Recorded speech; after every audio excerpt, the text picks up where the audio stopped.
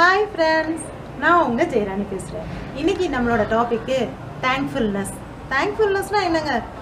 யாராவது எங்களுக்கு ஏதாவது உதவி செஞ்சாங்கன்னா நாங்கள் அவங்களுக்கு தேங்க்ஸ் சொல்ல போகிறோம் அவ்வளோதானே இதில் என்ன இருக்குது அப்படின்னு நீங்கள் நினைக்கிறீங்களா? கிடையாது. நம்ம இன்னைக்கு டிஸ்கஸ் பண்ண போகிற விஷயமே கொஞ்சம் டிஃப்ரெண்ட்டானது தான் தேங்க்ஸ் அப்படின்னு உதட்டில் சொல்கிறது மட்டுமா நன்றி? இல்லையே. முதல்ல தே தேங்க்ஸ் அதாவது நன்றி உணர்வு அப்படின்றது எதனால வருது? அடுத்தவங்க நமக்கு உதவி செய்யும்போது. அந்த உதவி அப்படின்றத சின்ன உதவி பெரிய உதவி அப்படின்னு உதவினாலே உதவி தாங்க அது வந்து அது என்ன?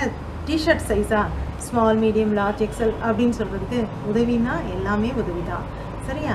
இப்போ அதுக்கு ஒரு சின்ன எக்ஸாம்பிள் சொல்கிறேன் எங்கள் வீட்டுக்கு பக்கத்தில் ஒரு பொண்ணு காலேஜ் அவங்க காலேஜ் வீட்டிலேருந்து ஒரு ஃபார்ட்டி கிலோமீட்டர்ஸ் ஆகும் டெய்லி அந்த பொண்ணு காலேஜ் பஸ்ஸில் தான் காலேஜுக்கு போவாங்க. ஆனால் அவங்க கா காலேஜ் பஸ் வந்து மெயின் ரோட்டில் வரும். மெயின் ரோட்லேருந்து பிக்கப் பண்ணிட்டு போகும். இவங்க கா வீட்டிலேருந்து காலேஜுக்கு போகிறதுக்கு ஒரு one kilometre walk walk or one kilometre distance இருக்குது அதை வந்து டெய்லி அவங்க டேடி என்ன செய்வாங்க? அவங்க டூ வீலரில் தான் கொண்டு போய் ட்ராப் பண்ணுவாங்க. ஒரு நாள் கொஞ்சம் லேட் ஆயிடுச்சு. அப்படி இருக்கும்போது அவங்க ம டேடி வேகமாக பைக் எடுத்து ரெடி பண்ணிட்டு பார்த்தா வண்டி பஞ்சர். அப்போ ரெண்டு பேருக்கும் மூணு பேரும் ம அவங்க மம்மி டேடி அந்த பொண்ணு மூணு பேரும் ரொம்ப ஸ்ட்ரெஸ்ஃபுல்லாக ரோட்டில் அந்த பைக் வச்சுட்டு நின்றுட்டு இருக்கிறத பார்த்தோன்னே பக்கத்து வீட்டு அங்கிள் பார்த்துட்டு அப்போ தான் அவர் வாக்கிங் முடிச்சுட்டு வீட்டுக்கு வர்றாரு. வந்தவொடனே பார்த்தோன்னே ஏதோ சம் சுச்சுவேஷன் என்ன அப்படின்னு கேட்டாரு. கேட்டோன்னே லேட் ஆயிடுச்சு வண்டி பஞ்சர். ரெண்டு வார்த்தை தான் சொன்னாங்க. லேட் ஆயிடுச்சு அப்படின்னு கேட்டோடனே அந்த அங்கிள் வந்து உடனே தன்னோட கார் எடுத்து அந்த ஒன் கிலோமீட்டர் தான் கொண்டு போய் ட்ராப் பண்ணிட்டாங்க. ட்ராப் பண்ணோன்னே அந்த பொண்ணு பஸ்ஸை கேட்ச் பண்ணிட்டா காலேஜுக்கு போயிட்டான் இது வந்து சின்ன உதவியா? பார்க்குறதுக்கு நம்ம கேட்கும்போது என்ன ஒன் கிலோமீட்டர் கார் எடுத்து ட்ராப் பண்ணியிருக்காங்க அவ்வளோதான் அப்படின்னு நினைக்கிறோம். ஆனால் அந்த பொண்ணை பொறுத்த வரைக்கும் என்னென்னா அது இப்போ பஸ்ஸை மிஸ் பண்ணிட்டோங்க அப்படின்னா ஷி ஹாஸ் டு போய் இதில் ஆட்டோ ஸ்டாண்டு போகணும். ஆட்டோ ஸ்டாண்டு அவங்க வீட்டிலேருந்து கொஞ்சம் ஃபார்வே அது ஹேவ் டு வாக் அவங்க கொஞ்சம் தூரம் போய் தான் ஆட்டோ ஸ்டாண்ட் எடுக்கணும். ஆட்டோ எடுக்கணும். மே பெரிய பஸ் ஸ்டாண்டுக்கு பெரிய பஸ் ஸ்டாண்டுக்கு போகணும்.